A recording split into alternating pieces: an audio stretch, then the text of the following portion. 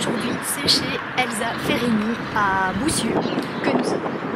Ben voilà, bon reportage. Bonjour, nous sommes ici avec Elsa Ferrini que je vous présente, qui a créé sa propre maison d'édition. Voilà. Et j'aimerais bien qu'elle nous en parle. Ben voilà, c'était- c'est une idée qui est partie de, de mes romans policiers, voilà, d'une difficulté de les diffuser.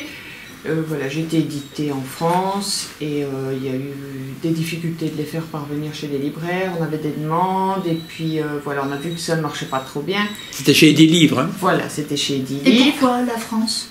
Euh, ben en Belgique, j'avais pas trouvé. Il y avait pas vraiment beaucoup de maisons pour le polar. Il y avait beaucoup de frais de port. Les libraires réchignaient à devoir euh, rogner Mhm. sur leur marge. Enfin, c'était assez compliqué.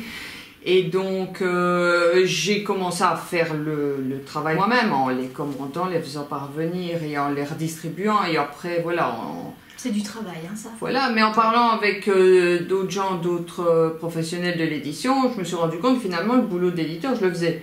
Donc, autant passer le pas. Il y a combien d'années que vous avez décidé, tiens, je, je vais me lancer Et la maison d'édition a démarré fin 2016.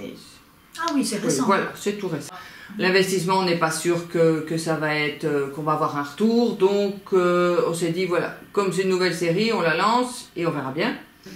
Un premier bouquin, c'est quel tirage?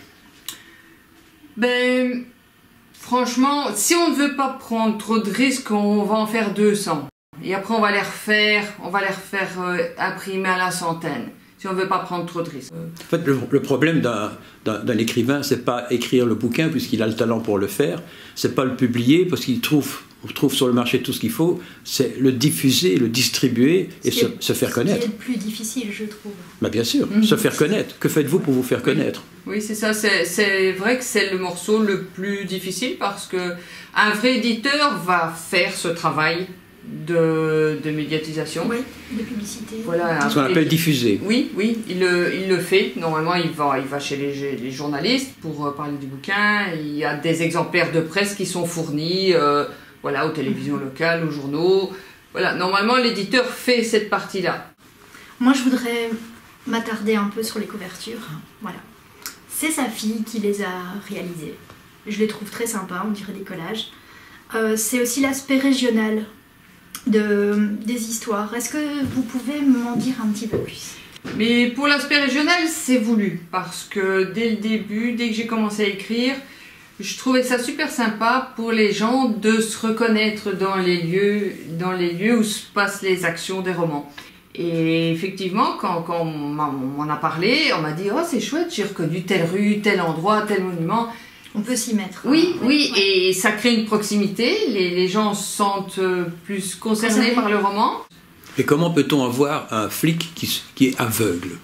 Parce que c'est quand même ça. euh, Le, le- le héros principal de Berléand, c'est- comment il s'appelle? Oui, oui, Alexandre de Merlian. Il est aveugle. Oui, au moment Bah. des, des romans, il est aveugle. Sherlock Holmes avec, euh, avec ce- comment dire Il avait Watson, lui. Il avait Watson, oui. mais enfin, comment, comment ça se passe Et quand même, euh, avant son accident, il n'était pas. Donc, on a une carrière qui débute tout à fait normalement. Il est, il est inspecteur et dans des conditions tout à fait normales. Et suite à un accident, évidemment, il perd la vue, mais dans le, le contexte des livres, il ne reprend pas son activité au sein de la police. hein. Il démarre, euh, voilà, il continue à s'intéresser à des enquêtes et puis il voit qu'avec l'aide d'un petit garçon, il peut aussi donner sa, sa- des développements sur des enquêtes en cours.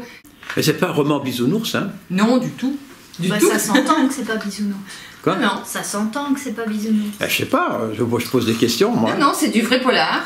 Et j'ai remarqué, à tort ou à raison, que vous avez de bonnes relations avec Télémons Borinage. Oui, oui, c'est vrai que, que Télémons Borinage est tout de suite partant pour des sujets qui rebuteraient peut-être un peu des, des chaînes plus importantes parce que ils sont.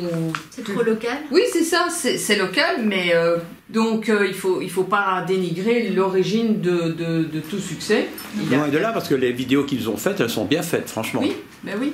Et, et c'est vrai qu'ils sont tout de suite partants des, des sujets, des, des- des sujets qui sortent de l'ordinaire, même locaux, mais ils sont partants et, et ils sont super sympas pour ça. Et vous avez même des, des personnes qui présentent des émissions littéraires, comme celle qui est à côté de vous. Mais si, tu présentes une émission. Sur quelle radio C'est RCMB. Voilà, on trouve sur Facebook. C'est RCMB Chronique littéraire. Il y a une petite application. On clique dessus et on écoute ma chronique le jeudi à 11h. Pendant combien de temps Une petite demi-heure. Voilà. avec des morceaux et du blabla. Et cette émission n'a pas encore reçu euh, Madame Ferrini Pas encore. Mais ça, serait, ça pourrait être intéressant de venir une fois euh, en direct. Hein. Donc, c'est Daniel qui fait le travail de distribution dans l'ombre. C'est ça? Oui. J'ai vu, une, vu une vidéo où vous, vous expliquez, chez une libraire ici à Mons, le travail que vous faites. Et je trouvais cette vidéo intéressante parce qu'en fait, vous faites le travail que les éditeurs ne font pas. Ou alors font pour des personnages déjà connus. Mais je me suis rendu compte aussi d'une chose, c'est que vous êtes dans le Brabant wallon, vous, avez, vous êtes dans la région de Mons, y compris Charleroi, même peut-être maintenant tout doucement à Bruxelles. Bruxelles. Et je me suis rendu compte d'une chose, c'est que la manière dont vous opérez, elle a en tout cas une, elle est efficace. Je crois que vous allez vendre plus de livres, parce qu'un auteur doit vendre, vous allez vendre plus de livres procédant comme vous le faites, mais évidemment ça prend du temps et de l'argent, qu'en confiant votre problème de distribution à un distributeur et, encore à un diffuseur. S'il n'y a pas quelqu'un qui vient lui dire, écoutez, ça, ça vaut la peine, il y a très peu de chances d'être vendu. Ça ne sort pas de l'anonymat. Il, est il est probable que cette action soit peu rentable. Euh, sur le plan personnel. Ah oui, sur le plan personnel, oui. vous, êtes, vous êtes pensionné, sans doute quelque chose comme ça, ce, ah qui vous permet de le faire. Moi, je vais vous dire franchement, moi je trouve ça terriblement enrichissant. Oui, mais incontestablement. Mais donc c'est un, un, investissement personnel. Ah oui, oui, bien sûr. Et c'est sûr que mon mari est à la retraite, ou sinon il ne pourrait pas, il pourrait pas donner de son temps comme ça. Qu'allez-vous faire quand vous allez devoir diffuser d'autres auteurs que vous-même? Ben, la, même chose. la même chose. Il n'y a pas de raison. Autant on s'est parlé de, de, de, des livres que j'écris, autant de la même façon, il parlera d'un autre auteur. Et, et c'est de cette façon qu'on espère un peu euh, trouver sa place dans les rayons. L'avenir de l'être assassine, ça se voit comment? Mais pour l'année 2018, euh, on prévoit de nouveaux romans. Et les vôtres Non, un, un à moi et un nouvel auteur. Donc ce sera le premier nouvel auteur. Qui reste secret.